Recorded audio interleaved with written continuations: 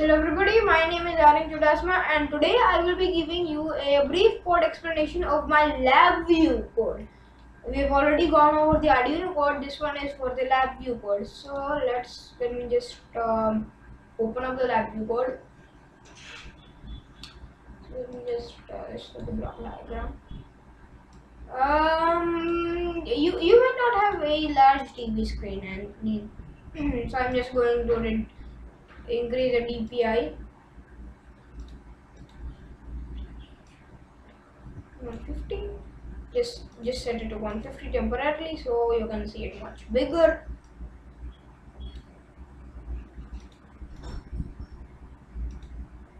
But I feel like it should be a little bit bigger. I think it just gets too big. 150 looks pretty good to me. So yeah this is um my LabVIEW code and all that. So actually let's just um, uh, start from this tiny tiny tiny jump over here. So what this really does is that it just loops through 16, 16 times this whole loop goes through and for i, i starts at 0 so I have to add 1 and then we sort of convert it into an array and put it out into the channel number. So it, so it automatically fills down 1, 2, 3, 4, 5 up to 16. Okay, so that's what this is used for. Uh, back up here, we have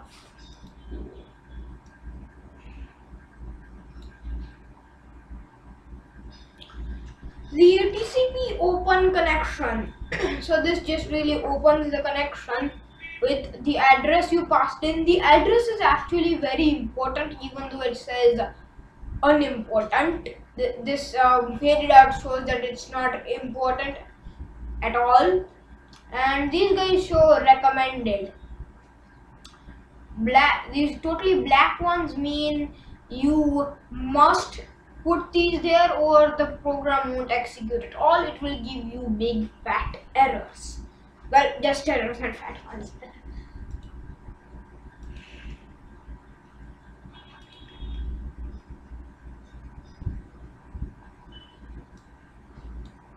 Anyways, just bring that down there.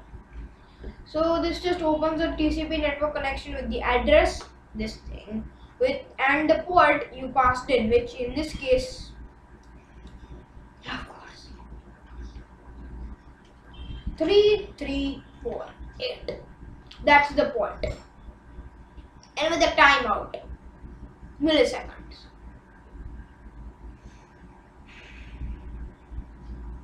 Yeah, uh, so this thing by the way means 30 seconds, it will wait 30 seconds and if it cannot connect in 30 seconds, error.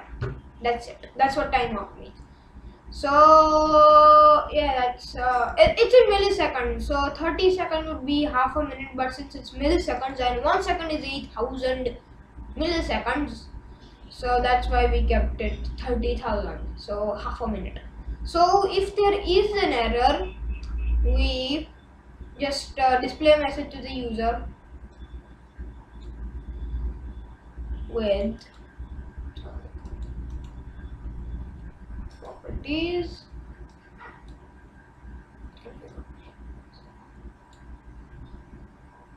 and it says failed to connect to server sad face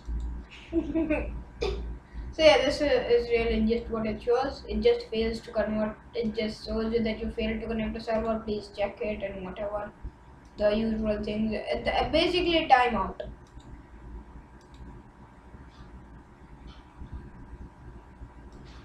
This feels like it's taking up a lot of space.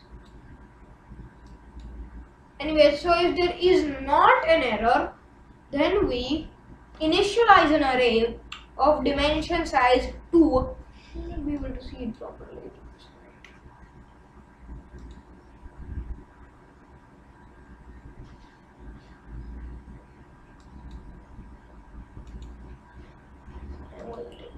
See that part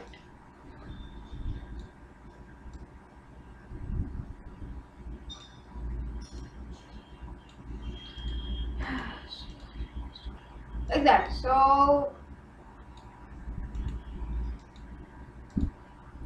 So it initializes with the element. So it creates an n-dimensional array, as in you can stretch it out like this, what we just have right now. So it's a two-dimensional array with with all of the values initialized to a zero, and it's an integer value zero, which is what we really need. And so that uh, this is feeds into a shift register. And this feeds into a four uh, sorry a, a feedback node. These two are very different trust me. I don't know how this correlates to C4 I don't I really don't know. But uh, this is uh,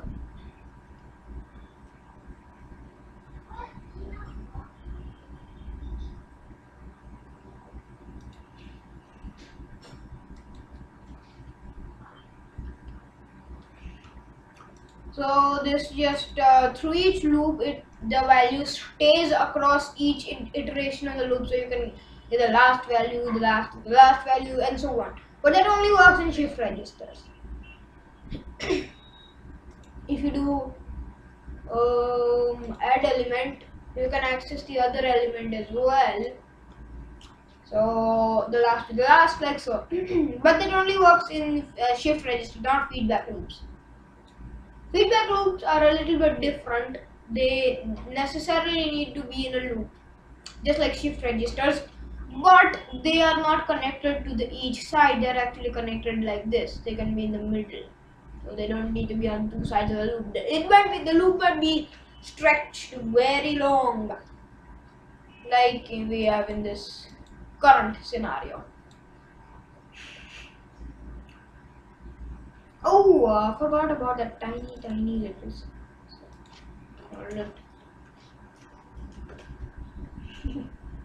so then we just um, uh, connected to server. Smiley face just added that right now.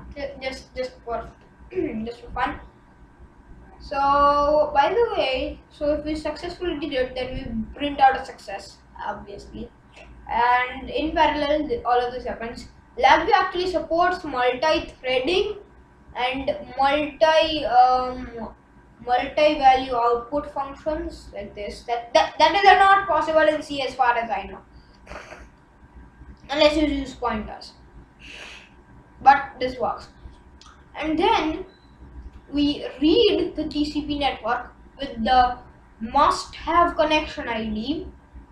This thing that that is. Uh, comes out of the TCP open connection.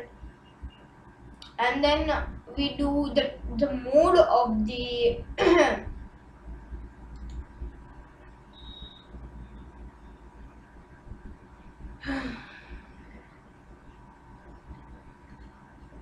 mode. So this just uh, waits until all the bytes instanted but we are actually using CRLF waits until all bytes are specified in bytes to read what the function returns function receives a carriage return. You might have seen the terminator slash um, asterisk slash r slash n. So just open it up quick. So here it is. Carriage return line feed right here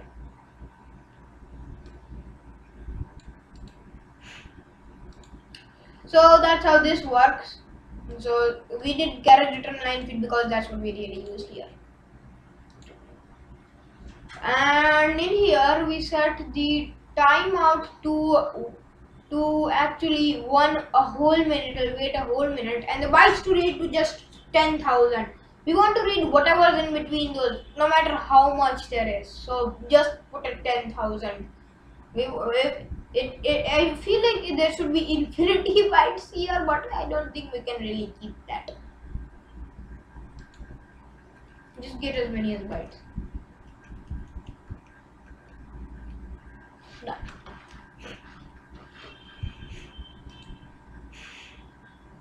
So here we just um, search and replace the string So in the carriage return and line feed, we just delete the star character. This is what this really does. It just deletes the last ending star character because the control, uh, the carriage return and line feed are destroyed and terminated. They, they do not exist anymore. But the asterisk terminator still exists, so we need to get rid of that. So th that's what this does, just for security purposes. And whereas the spreadsheet string to an array.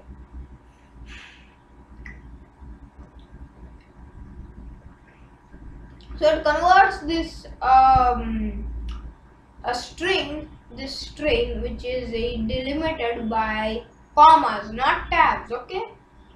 So we need to specify that. So with commas and and the format of the string so we'll do a percentage s or, or we can also put uh, so that we do a format of string. So it's a type of string. And it throw and uh, uh, array type and that's a uninitialized string array. We need to specify which array it is. Even though we just have to. Or else it might throw out um, a 2d 2d dbl double precision. And then we get this array outside. So we actually don't do this um, implicit iteration as we do over here. As a for each loop we actually have to do it one less time because the last one ends up being a zero because after the last comma it still preserves a null value and null, null value is initial as set to be zero LabVIEW cannot accept that. There, will be some errors as it keeps flickering like ooh, ooh, ooh. nope that the graph the graph keeps flickering like that and that does not look good. So we actually do it one less time, one less one less iteration than the array actually does have. So that's what we really do. And then we convert each of these strings into a number and we get a numeric array with without the with the last one not being a zero. And then we compare each of those values. Okay so this so this is a for loop this is a for each loop. So this accepts it to, uh, expects accepts this to be a for each loop because you it's um there's just no, nothing uh, put into this so this accept accepts this to be a for each loop. So like that. Indexer by the way.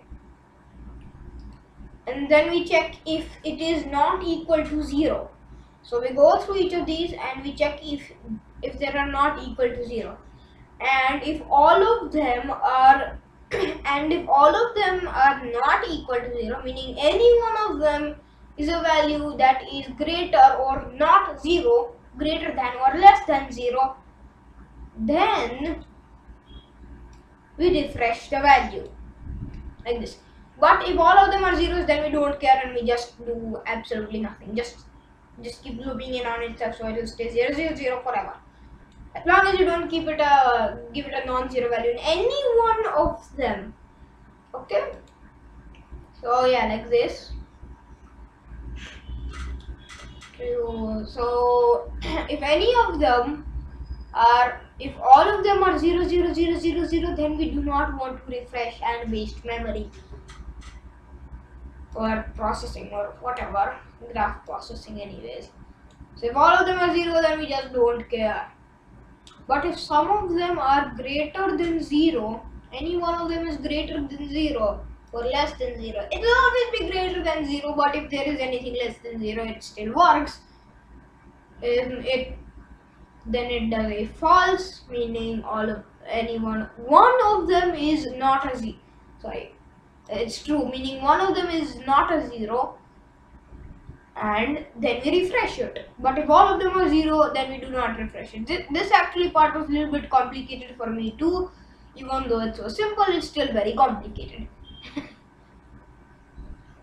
seems confusing huh so anyways here we insert it into the array at the value 0 right here so it displays this value okay so in, insert it into the index column and the this row. So this uses a shift register for it, not would have also used it in place with feedback node. That that could have also worked with a little bit of editing, that would have looked good as well, but this works fine for me just as well, so no need to tinker with it. Anyways, so this output array was sort of a hidden array and this was like what I used to initialize it. I thought okay this might work and whatever. So like that. This might work but turns out I have to set it every time and that is not ideal. So then I found out this function exists, initialize array, so I don't have to wait. But I still kept it there if you ever want to see the full thing. So this, sorry. So yeah, um, forgot. After uh, refreshing it or not refreshing it, puts it into the received data. This, tell number received data. And yeah, that's yeah, that's, that's pretty much it. And um, okay, and by the way, for saving, I showed you export, export data to clipboard, Excel, export simplified image. You have four, you have four options, three options. Well, well, four options. DL, add, ADEM, whatever that is. I don't know what that is. But that exists if you ever have one of those. I don't.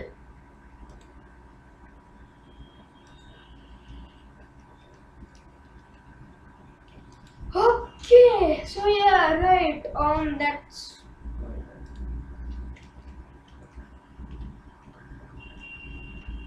that's uh, pretty much it. And um,